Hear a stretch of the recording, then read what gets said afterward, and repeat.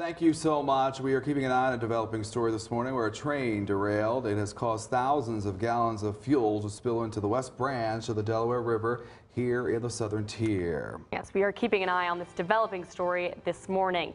The derailment happened yesterday in the town of Deposit, just south of Binghamton. The railroad says numerous rail cars and locomotives of a train headed from New Jersey to Binghamton went off the tracks. The spilled fuel came from just one locomotive. Doesn't appear to be anything more floating downstream than a sheen and some odors that eventually will float on the surface and evaporate just from the natural wave action from the sun and from the heat. What you're seeing is no more than say a molecule or two thick of oil. We're in an unknown uh, space right now because this has never happened while on our watch um, at this magnitude.